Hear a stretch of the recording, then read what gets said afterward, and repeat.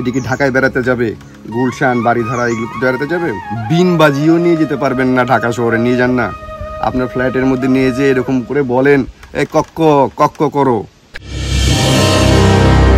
পথ থেকে পথে, পাহাড় থেকে ঘুরতে ঘুরতে এখন এমন একটা জায়গায় এসেছি, যে জায়গাটা একটা আমরা সম্প্রদায়ের পাড়া, এবং এই সম্প্রদায়ের পাড়ার পাশে হলো কিছু বন রয়েছে এবং এই বনের নাম হলো ক্রিস্টং ফরেস্ট আর কি। ক্রিস্টং ফরেস্ট সম্বন্ধে অনেকেই জানেন যারা আসলে এই পাহাড়ে আসেন। এবং ইতিমধ্যে ক্রিস্টং ফরেস্টের বারোটা না চোদ্দোটা বাজানোর একটা অবস্থা সৃষ্টি হয়েছে, যে বড় বড় শতপর্ছি মাদার ট্রিগুলো ছিল, গাছগুলো কেটে ফেলে দেওয়া হয়েছে। অনেক উঁচু উঁচু যে গাছগুলো ছিল, সেগুলো কেটে ফেলে দেওয়া হয়েছে। মর্মান্তিক একটা নৃশংস একটা হত্যাকাণ্ড চলছে হলো ক্রিস্টং ফরেস্টের মধ্যে। অথচ এই বাংলাদেশের সার্বভৌমতে এত বড় একটা ফরেস্ট, যে ফরেস্টটি চোখের সামনে ডেস্ট্রয় হয়ে যাচ্ছে, যেখানে আসলে ঘুমিয়ে আছে আমাদের প্রশাসন বিশেষভাবে বাংলাদেশ বন বিভাগ। সালাম আপনাদের, সারা জীবন ঘুমিয়ে যাবেন, ঘুমোতে থাকেন। স্লিপিং পিল যদি দরকার পড়ে, আমি বাজার থেকে নিয়ে এসে আপনাদেরকে বস্তা বস্তা দিয়ে যাব, ওইটা খেয়েও ঘুমিয়ে থাকবেন। কিছু করার নেই এখানে। কেননা এত দুর্গম পাহাড়ের মধ্যে আপনি কি করে উঠবেন, সেটাও একটা প্রশ্ন। সে ওঠার জন্য যে তৈরি করবেন শরীরটি, সে শরীর আপনার নেই তো। সেই শরীরের যে বিষয়টি থাকতে হবে পাতলা পুতলা সেটা তো না। পেটটা তো অনেক বড় বড় করে ফেলেছেন। পাহাড়ের নিচ থেকে উপরে উঠে এই গাছগুলো বাঁচানোর কোনো রকম বাজনা আপনারা বাজাতে পারবেন না। সুতরাং ঘুমিয়ে থাকুন, গাছ কাটতে থাকুক, কথা ওঠা না। আমি যেটা নিয়ে বলতে চেয়েছিলাম, সেটি হলো এটা। এটি সম্পর্কে হয়তো অনেকেই জানেন অনেকে গেস করতে পেরেছেন এটা কি। তো, এটি কি?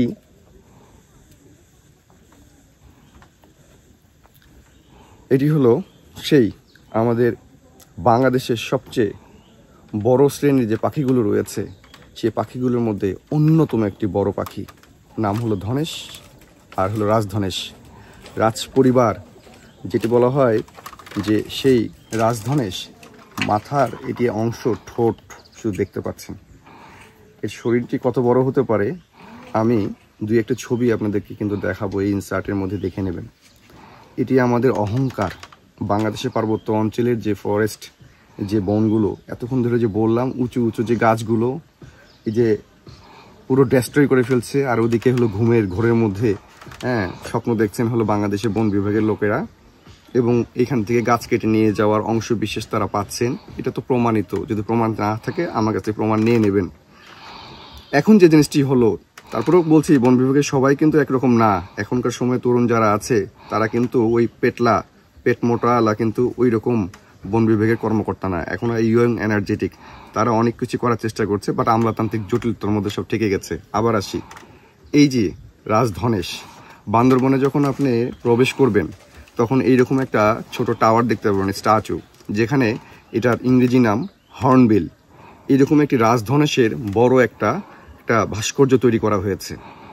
বিশ্বাস করুন, এই ভাস্কর্যটি তৈরি করা হয়েছে বাইরের দেশে তৈরি করা হয় হলো, সেখানে সেখানকার প্রতীক, সেখানে আকাশে বাতাসে গাছে গাছে উড়ে বেড়াবে যে প্রাণীটি, সে প্রাণীটির ভাস্কর্য তৈরি করে রাখা হয়। কেননা, আপনি যখন এন্ট্রি নেবেন, আপনি যখন প্রবেশ করবেন সে জায়গায়, তখনই দেখে বুঝবেন যে এই প্রাণীটি এই এলাকায় বিচরণ করে।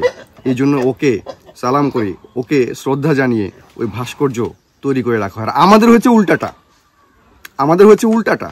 সেটি হলো যে এই ভাস্কর্য তৈরি করার অর্থ হলো যে যা ছিল তা বনে আর নাই। যেটুকু এখানে সিমেন্ট আর ইট পাথর দিয়ে বানানো হয়েছে, সেটি হলো একমাত্র দেখার বিষয়। আপনার পোলাপান মান্ডা বাচ্চা যারা আছে ভবিষ্যৎ প্রজন্ম, সবাইকে বলবেন যে এইরকম একটা পাখি ছিল। আর এই রকম পাখির এই মন্ডুটা আমি হাতে পেয়েছি এখানে।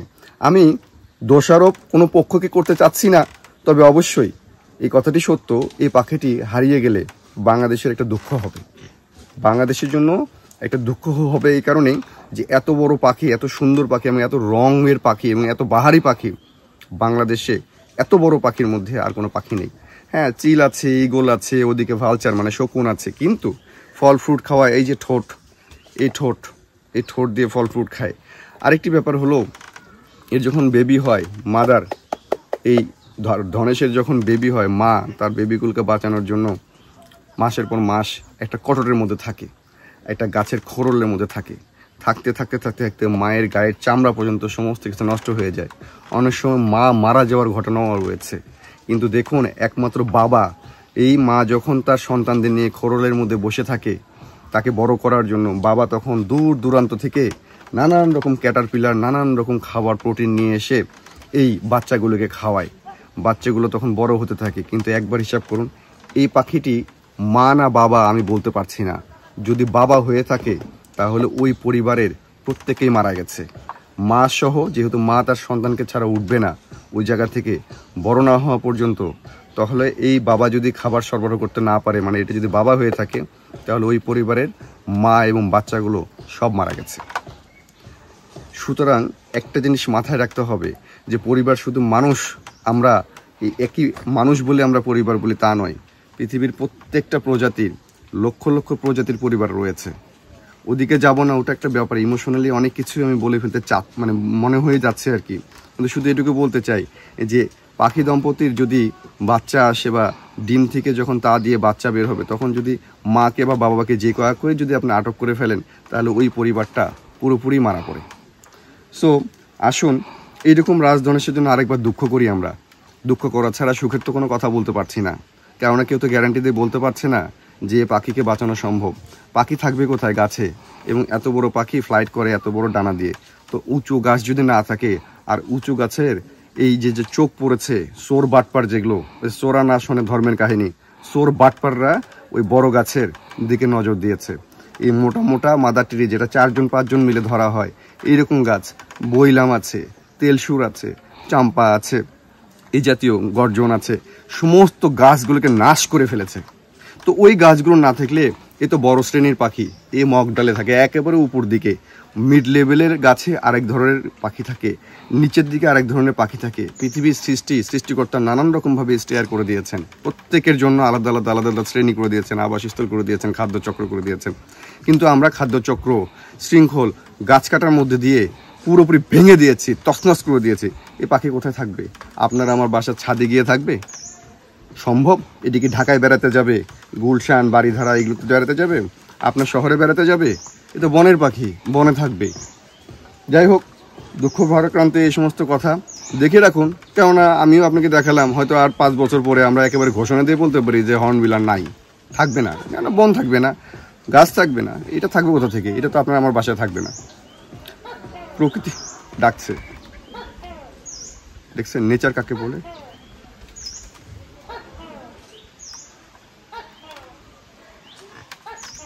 তক্ষক। তক্ষক বলে চিটগাঙ্গের লোকজন বলে টটেং, ইংরেজিতে বলে গ্যাকো। গাছের খোরলে এই প্রাণীগুলো থাকে। আর এই প্রাণীর উপরে যে কি অত্যাচার। এক কোটি টাকায় দুই কোটি টাকায় বিক্রি হয়ে যায়। এই বিক্রির জন্য এটা হইতে হবে তিনশো গ্রাম ওজন। লম্বাই হতে হবে এত বড়। এই মাপযোগ করতে গিয়ে কি পরিমাণ হাজার হাজার এই প্রাণীটিকে হত্যা করা হয়েছে। আলটিমেট এটা বলে বোঝানো যাবে না। টাকার লোভে পড়ে, প্রকৃতিকে ধ্বংস করে আপনি কোনো দিন বাঁচতে পারবেন না। আমরা কোনো দিন বাঁচতে পারব না।